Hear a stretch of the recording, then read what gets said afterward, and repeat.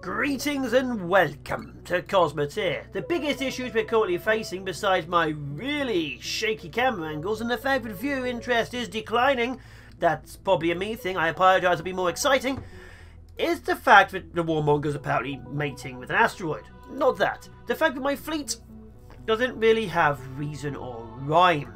There's no real point for most of the ships. The whole point of a fleet is they are meant to complement and support each other. Not as in like, oh, you look fabulous in that dress. As in they're meant to absolutely, you know. What are you? You're just pushing a piece of dead shit. Wait, Gunwing. Was that mine? No, guess not. Probably part of this fleet. Yeah. Rove. Okay, so there's nine targets here. It's the fact that most ships I have to kill or use is... How do I put it? They have to have a point. Like I've got all of my ships actively, apart from this one being pushed by the MacGyver, which just looks horrifying, are now big railgun massive cannons. That's all they are, massive cannon ships. That's cool and all. Or is it Tylenol? That's cool and all, but they, there's no real reason for most of them. Like in the grand scheme of things, I don't like. I have two railgun designs. I have no EMP designs. I have no really good missile designs. That's the thing. Most of my designs are very much based around the whole. They all do the exact same thing, and that's not really the best. If I'm honest, not really the best at all. I need my weapons to all be doing different situations. And again, that's very difficult. This is really in the way. Like, these ships are all designed for heavy, heavy artillery combat. That's literally what they do. They're heavy artillery combat ships. They don't do anything else. At all. Already killed it. So I'm thinking it's time for a more important design style.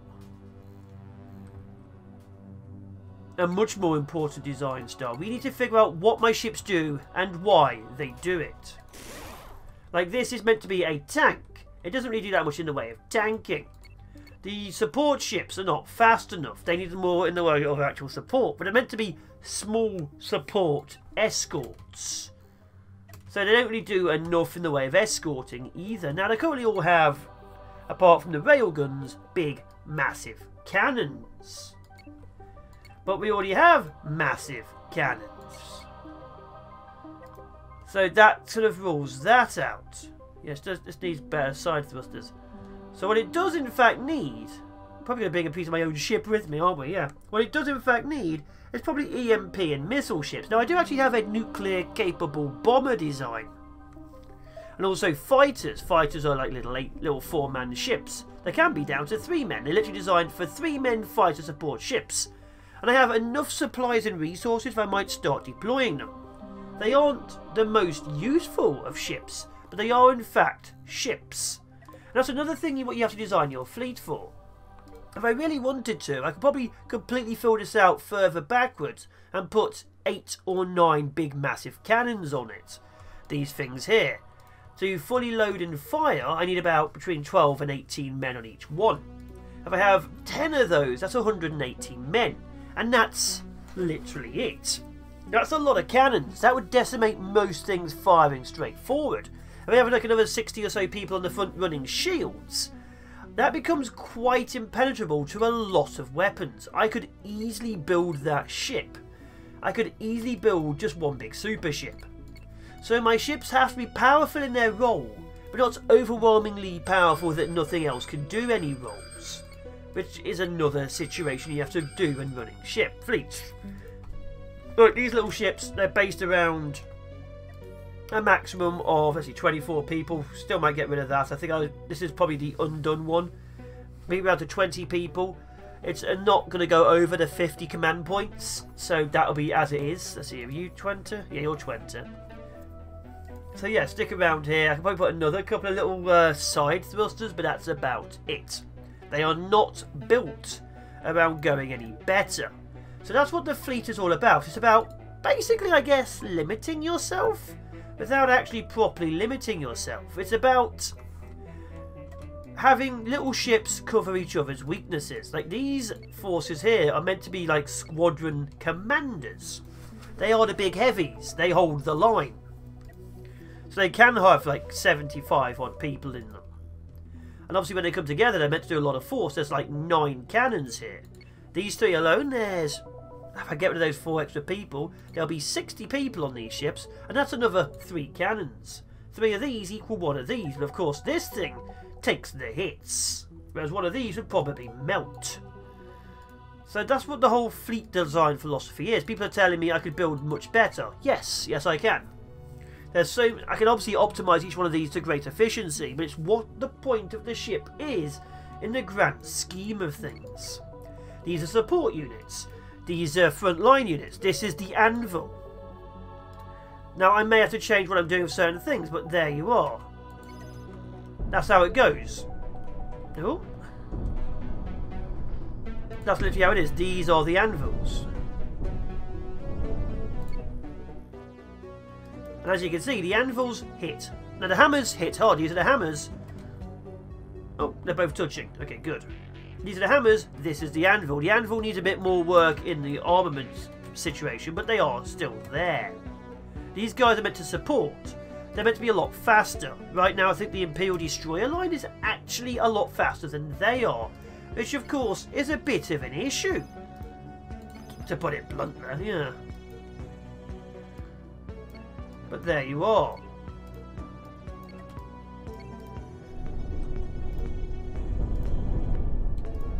So yeah, these ships take the hit. And you can see they take a fair bit of hits. They are still weak to the side. I could easily do something about that, but I'm trying to make my ships have, you know, some level of weakness. Not major level of weakness, but some. This, of course, needs less weakness. This is just I'm bad at designing a bigger ship. I've talked about it. I am bad at designing a bigger ship. I'll call missile ships. Okay. Come around, kill that. Okay, I want you to be there. I want you to stop doing the sideways thing. And come there. I want you to come around and hit that. There we are. Are you out of ammo? You are out of ammo. You've got like 30 rounds left. Okay. So you're going to come in and hit that as well. You're going to turn to here. But yeah, this is meant to be much more heavily armoured, so I've been working on that. It's got more point defence, but that's about it.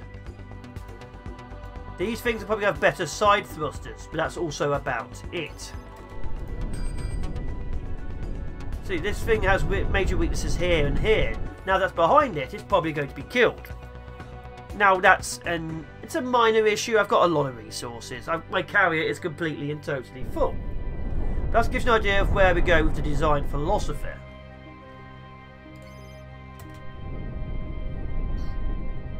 The missile launchers also need to be moved, to be fair, but that's just a different thing entirely. So these ships are very much good at what they do. I could change them, maybe have a couple more missiles and things on the side, that's fine. There we go, it's dead. Switch up, move up. These killed that. That's gone down to there. This is onto here. You come round to here. So the, the smaller ships are meant to be assault and support ships. They aren't really assaulting or supporting because they're not the fastest. So how do I make them faster? More engines. But to give them more engines, I might have to get rid of their big cannon. Of course, that would be a bit of an issue. Because of what they actually are. So I remove the cannon capability of them. I don't need to put something else in the way. But they are designed to flank and destroy. So I get rid of the cannon capability. Then they can't really support anything. Am I on fire? Can I repair in? And why did you let me have the option? It's a fair bit of damage, but you know. It is what it is. Fire's always a problem. Any fire? Any fire? And that's the thing.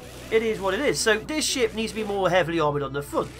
more point defense. That's why I have the point defense drones, which I'm going to keep making more of.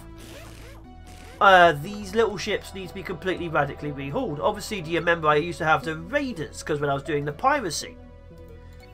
So I could easily bring them back. And I even I, I might even do so. But the design philosophy of the fleet is what does each ship do? These guys are brawlers. These guys brawl and take the hits. Heavily armoured front, shielded front, massive cannons. These things take the hits and fight. Now I turn these things into EMP support ships, and then have to make sure they actually do their bloody job. Because as you may have noticed, they're not the best at what they do, they now need to have better side thrusters and rear thrusters.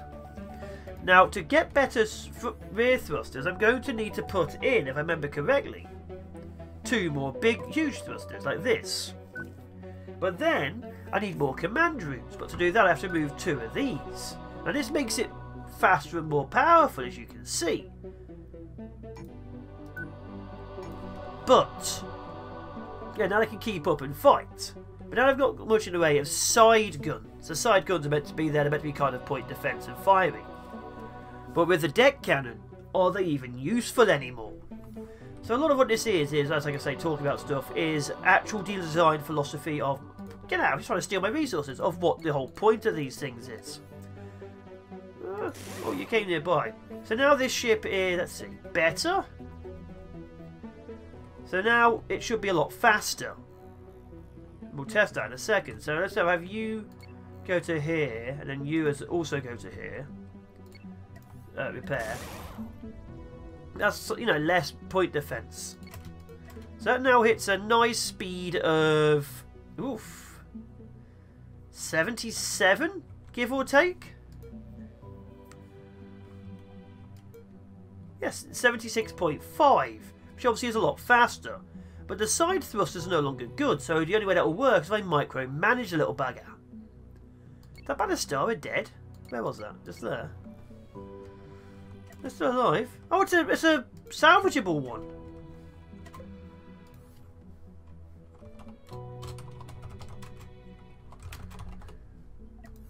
There you go. There's a lot of markers on the map. So that now goes a lot better. 76.5. The original Infernium Mark 8 can only manage about 55? Maybe even less. It's already slowing down. Can't even hit 50. So I've added about nearly... I've added almost 30 speed to the ship. Almost 30 speed. That's obviously quite a lot of speed. But that makes these ships much more useful for flanking and support. Your Imperial Destroyers, of course, need a bit more frontal armour. That's just a bit more uh, messing about, sorting it out. These ships will not change the way their missile, their cannons are based. They may get a missile complement, but what they have, of course, is heavy frontal firepower. This ship, however, the uh, Warmonger, it will get altered. It always will. There's always things I can do with it. There will always be changes. Let's just do all of that while we're at it. There will always be changes. It's just a matter of time. But yeah, the Infernium Mark 8, they need to have the big thrusters. They need to be able to keep up. But now, of course, that's another issue. Because of how they're designed, will they actually be able to support the big thrusters? That's another thing entirely. I've had this ship as a test before, and it couldn't keep up the thrusters. What's this, uh, number 24? Alright, so let's just do this. Can they keep up with the thrusters? It's hard to say, but now it's obviously placed better as a support ship. So it's okay, looks like they can keep up with it. So there we go. The Infernium Mark 9 is now designed to support but it's obviously not the best ship for support. In reality, the cannon is useful, but it's not the main need. It allows it to give fire from the side and all that, but I don't really need it to do what it does. This it no longer really fits its purpose, the purpose of which being was a support ship. In reality, two missile launchers would be a lot better. But again, these are slightly more expensive than the cannon for some reason. Yeah, these are five each. How big, much is the cannon? Only eight. Oof. But having two missile uh, ships here, two missile launchers here, this is suddenly a much more powerful ship. But if I have the thrusters and so on, it's no longer as useful. If I want to make this a powerful, useful ship, I have to go past the limit and add in a second command deck. And that defeats the whole point of it being a cheap support ship. That's the roles I'm currently looking at. And obviously there's a lot more of those roles to do. So that's currently my design philosophy for those who are thinking about it. This obviously only a couple of big fights. I'm actually going to start bringing in a lot more stuff very, very soon. You're going to see a significant increase to the fleet after in the next one. I'm going to talk about why I'm doing what I'm doing and what I'm doing why, which is the same thing. You personally would have to decide how you want to make your fleets. I just want to make sure that they are what they are. And yes, they're not meant to be the most powerful ships in existence. There's people out there who can make massive railguns, which can wipe out entire ships from a mile away. There's people out there who can make massive batteries. Again, like I said, I can put like 15 of the major deck guns on a big wide ship. It'll probably do significant amounts of damage. That's not what we're going for. We're going for a fleet with major weaknesses and also major strengths. I could easily fix a lot of the weaknesses by making obviously more crew on per ship.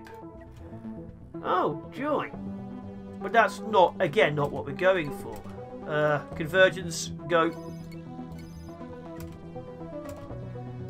Okay. Infernium push. Turn. Yeah, we're having issues. We got, we got caught with our pants down. Okay. Okay, this, this, this has been hit majorly. Okay, you're hitting it. Okay. Engage. Engage. Support the ship as it turns.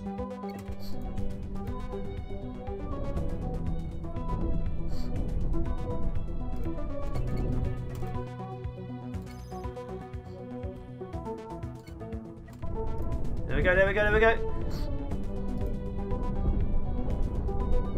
Yeah, about to lose the rear, that's fine. So yeah, this ship is meant to be weak to the rearmost combat. It's meant to be weak to all sorts of side combats, but again, it's it is what it is. And that's the design philosophy I'm going for. They have to be complementary. I can't just make a super missile destroyer which then doesn't support the rest of the fleet. That'd be an entirely different style. But something like this, you know, it's really, really powerful. It, it really is powerful for what it is. But if I used it, like I say, it's a couple of hundred crew. If I used it, I'd be uh, building something different. And yes, this is how I do it. A lot of people just do what a couple of big super ships. I don't. I never have. That one's lost the rear. Okay, that one's dead. That's fine. So my support ships, like that's just gone, will require better side thrusters, better rear thrusters. That's fine. This, oh my god, has a bigger weakness we've just found out. If this reactor goes, it'll take out everything. That's new to me. That's good to see. Not really, but you know. And these, these require more side thrusters too, as you can tell by the fact that they're barely moving. They can't flank. They are very much only designed for major assaults, and that's not good, because they're not meant to be for major assaults. They're meant to be supporting the dead warmonger. So we'll repair that with my massive supply of resources. Seriously, the shipyard back at home is full, the carrier's full. There's a second shipyard now, by the way, of stored ships. I'm going to start bringing in the fleet. So the warmonger may be temporarily retired, so I can actually start bringing more things. Because the warmonger has, I'm going to say, temporary issues. But yeah, that's the design philosophy of me building this fleet. I want to make sure things work. I'm going to be bringing in more fighters. I'm going to be bringing in more everything. It just is what it is. That was just bad. Yeah, that was interesting. So yeah, the, the Warmonger needs better, heavier frontal armour. Better, heavier frontal shield. To do that will require hundreds more... Stop, stop being on fire. Hundreds more resources hundreds more crew. But obviously I don't really want to fully do that. As you can probably tell. So what I'm going to do is diversify the fleet, prepare them for more combat. I might even have to, as I don't want to do this, go into creative testing. So the ne next one will be me creative testing actual ships. You'll be seeing fleet creation, fleet construction. But this one is just how to build a fleet design, design philosophy. But I've been the Fallen Shogun. Maybe you've hated this, maybe you haven't. We'll see, we'll see on who says what and how many people watch for only three minutes. Either way, this is mostly unedited, as you can probably tell. Goodbye, good luck.